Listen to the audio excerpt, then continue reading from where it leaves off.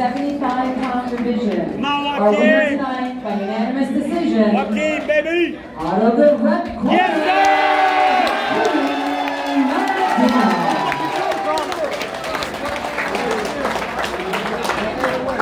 Ladies and gentlemen, let's give Eric a big round of applause as he does his ring.